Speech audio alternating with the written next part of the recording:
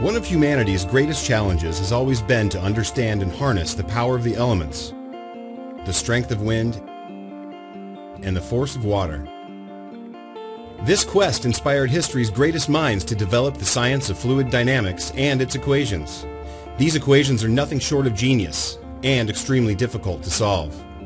They're so complex, in fact, they cannot be solved by hand.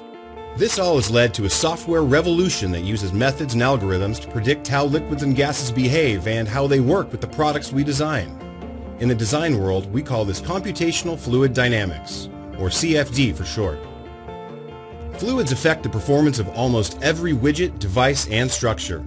CFD is an important part of the design equation and helps boost energy efficiency, reduce risk, and spark innovation.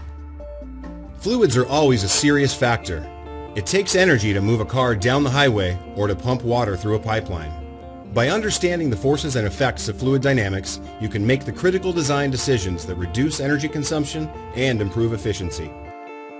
Products, vehicles, and structures often fail due to miscalculations or judgment errors of fluid behavior. We hear about these malfunctions all the time. Computers overheat, car parts fail, structures collapse in high winds. The result is recalls, lawsuits, or worse, loss of life. By running CFD analyses throughout the design process, you can solve these issues before they turn into serious problems. Costly physical prototype testing provides discrete pieces of test data. CFD analysis shows you the complete view of the flow. This insight inspires questions and critical thinking that produce innovative design.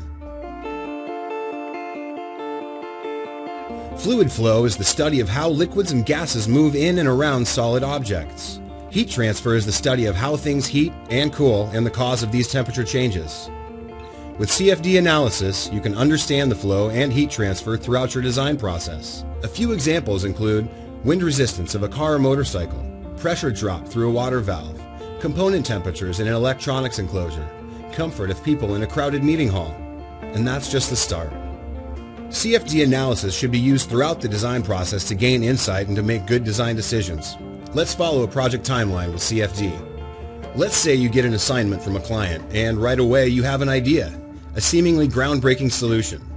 You think it will work, so you mock it up and run a CFD analysis. You learn some things, you get precise information. You land on a concept that will drive the next big thing. As you work out the details, you must consider every question carefully. You iterate through each alternative and select the best. Each analysis unlocks a secret that will make your design better. Finally, you analyze a detailed model to check that it all works as designed. You spot an issue. You fix it, then rerun to make sure it's fixed. The result is a high-quality product delivered on time. Your customers are happy and you're ready for the next big challenge.